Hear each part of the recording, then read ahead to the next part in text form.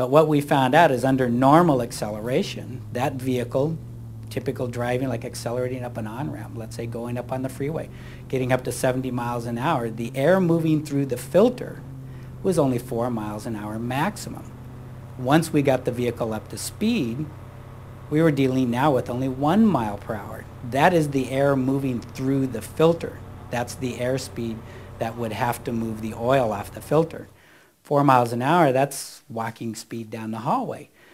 So we took it to an even further extreme and we held it in second gear and we ran the same vehicle all the way to Redline, holding it in second gear, and we reached a maximum of 12.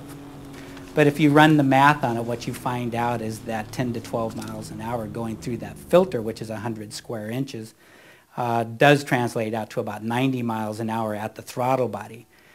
But you've got to back up. You, you, you know, the, the oil has to come off of the filter, and that's, and that's where the 100 square inches are that has about one ounce of K&N oil on it. We used an additional piece of equipment here at, at K&N in our laboratory, which is an air filtration stand in which an absolute filter is used. If anything gets through the test filter, it gets trapped by the absolute filter. So you weigh it, you have an exact weight in the beginning. So if anything moves through our filter that's put in place, it gets trapped by the absolute and it's going to show up in the weight. So what we did is we took one of our filters and we intentionally over-oiled it by approximately 30%. We put it in that test stand and we ran it at 1,000 CFM for three days straight. And at the end of the three days, there was no detectable weight gain at all by the absolute. And we weighed the filter also to see if any weight had, had left the filter and maybe was trapped in the air ducting or something. Uh, and it had lost no weight at all. So no oil came off of that filter after three days of being subjected to 1,000 CFM.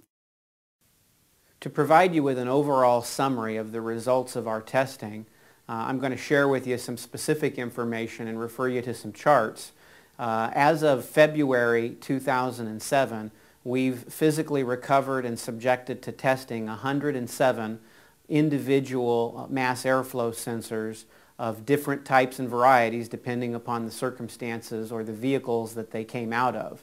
Now out of the 107 sensors that we physically uh, looked at in this way over the last uh, two and a half years I guess it's been, there were 65 of the sensors that were actually functioning perfectly fine. So in other words, 65 over 50% of the 107 sensors that we recovered were never malfunctioning in the first place.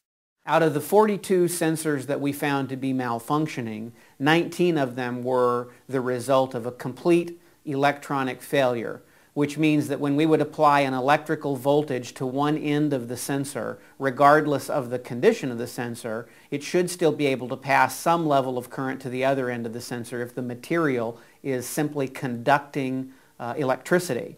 And in 19 of these cases, there was no conduction happening at all, so it was in essence a material failure in that it would no longer conduct any voltage at all uh, through the sensor.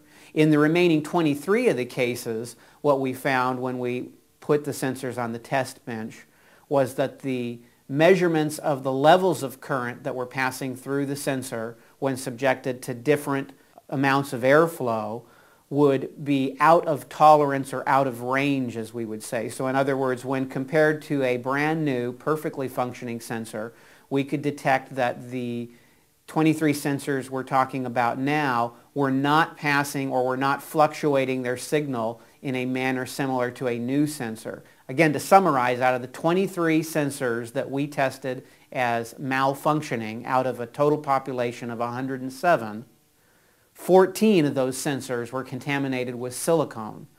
Five of those sensors had some level of dirt visible on them at high magnification, and four of the sensors were perfectly clean.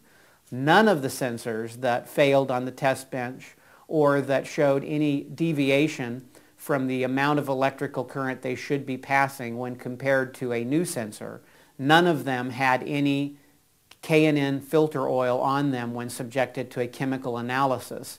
We've discovered that oil will not come off of a K&N air filter under any normal operating conditions inside of a vehicle.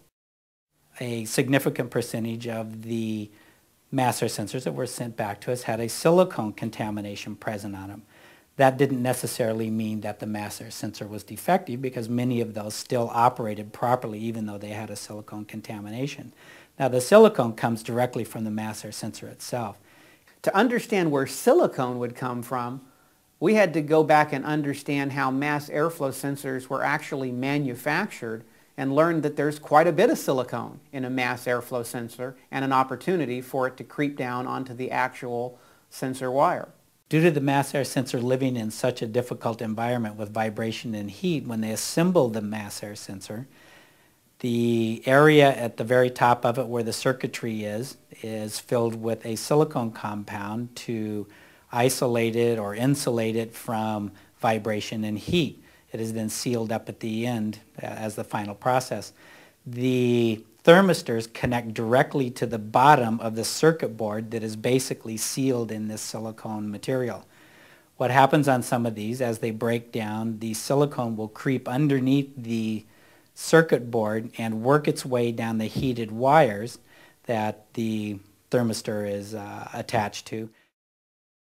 There are three separate factory technical service bulletins that are out there right now that address the issue of mass air sensors being contaminated by crankcase vapors uh, through the PCV uh, system. The evaporative canister system also bleeds into the, uh, feeds into the air intake. All of those gases are percolating around there, especially when the vehicle is shut down and air is no longer moving through there. You have all of those vapors that are mixing around inside the system. That's the other reason that, that's one of the reasons anyway, that a mass air sensor has a burn-off cycle. Many of them have a burn-off cycle onto it to remove the, uh, the particulates that may attach themselves to the thermistors or the hot film during that process. Another thing that, that confirms that gases do exist inside of the air intake is the newer vehicles in the tighter and tighter compliances with EPA are putting a carbon trap because as the gases move through the intake, they try to escape into the atmosphere. So more and more manufacturers are putting carbon traps in the air box itself to trap the gases there. Well, once they get to the air box, they've already moved past the mass air sensor. It's just the environment that they live in. It's not a clean, pristine environment. Our goal in this, in performing this extensive investigation into the mass air sensors, is to determine not who is at fault, but just what happened in, in the incident. Um, we will use this information to assist the dealer to better understand uh, and also to aid the customer in this warranty issue. It's not really to find fault with anybody, it's just to find out what happened in this particular circumstance. The dealer's customer is our customer, our customer is the dealer's customer. It's one and the same person. So we never contact a dealer with an antagonistic approach. It's always a very soft approach that we're just trying to help out and maybe clear up some things. We have tools at hand that a dealership in no way, they do not have at hand. They don't have a microscope to look at these, uh, these mass air sensors under a 5,000 times magnification. So all the, all the information that we do gather, we urge the dealer to please be receptive to us sending it to them at the end of the uh, of our analysis. Even if they're maybe a little bit apprehensive, we spend a great amount of time on the phone talking to them to help educate them. It's a, it's a valuable tool. It's information that they will probably never see from anybody else. And it's a great educational process. As I mentioned at the introduction to this video, I went into this investigative process with the assumption that there was a real situation or there were real circumstances in which elements could combine to create a circumstance in which oil could come off a K&N air filter and foul a mass airflow sensor. My goal was specifically to identify what those circumstances were, what those particular vehicles were, or what those particular type of sensors were um, in which something could happen. As you've seen from the testing we've done, the result has been that in fact it's never happened to the best of our knowledge and belief based upon physical testing and forensic laboratory analysis. On behalf of K&N, I guess I can say that the best thing about this entire process we've been through is the extent to which it's reconnected us with real consumer experiences with our product um, in the world as they take their cars into dealerships. and it's helped us understand how important it is for a manufacturer to not just stand behind its products, but to stand behind its consumers. And so in addition to the fact that we sell replacement air filters that are backed by the world's first million mile warranty, we now actually offer something that we call our Consumer Protection Pledge, which means that we pledge that consumers that buy and use K&N products will never be allowed to be in a position where they're in the middle between a service provider or a dealership who believes our product has caused a problem and K&N. We have a dealer relations department now who will step right into that situation, interact directly with the dealership or service provider, and resolve that consumer's problem one way or another. We're very proud of this pledge because we think recognizing our obligation to consumers is even one step ahead of backing our product with a million mile warranty.